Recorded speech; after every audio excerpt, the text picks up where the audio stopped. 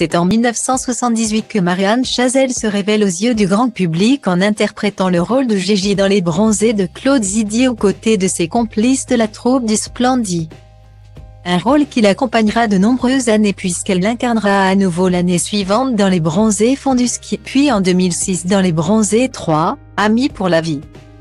L'ex-compagne de Christian Clavier tiendra également un petit rôle dans la saga des visiteurs avant de s'illustrer dans l'adaptation de Marius et Fanny par Daniel Auteuil en 2013. Un succès qui n'était pas forcément du goût de son père, comme elle l'a raconté sur le plateau de CAVO le vendredi 10 septembre. Paul Chazelle, pasteur de profession, ne voyait en effet pas d'un très bon œil le choix de carrière de sa fille, il me voyait plutôt agrégé d'histoire. Faisant des études, dans une famille intello. Il ne comprenait pas, a-t-elle expliqué à Patrick Cohen. Vous savez, il y a des gens, comme les hommes politiques par exemple, qui sont censés croire ce qu'ils disent. Un pasteur, il croit ce qu'il dit. Et il ne comprend pas qu'on puisse être quelqu'un d'autre et ne pas correspondre à ce que l'on dit.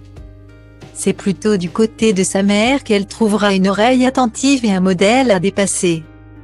Luba Gertchikov a en effet travaillé auprès de la célèbre metteuse en scène Ariane Nouchkin avant d'embrasser progressivement une carrière de comédienne. Se rêvant actrice, cette dernière créait de, petits ateliers et montait des pièces plutôt religieuses dans chaque nouvelle paroisse où l'entraînait son époux. C'est à l'âge de 5 ans que la jeune Marianne découvre pour la première fois sa mère sur scène, je vais voir la pièce. Et puis je ne la vois pas du tout. Je me dis, où est-ce qu'elle est? J'étais très déçue. Se remémore-t-elle.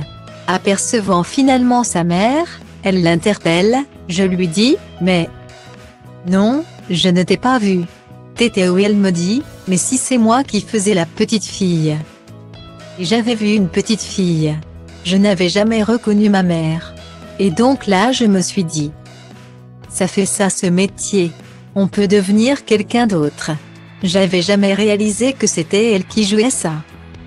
Une belle expérience qui motivera par la suite la maman de Margot à se lancer à son tour sur les planches, avec le succès que l'on connaît.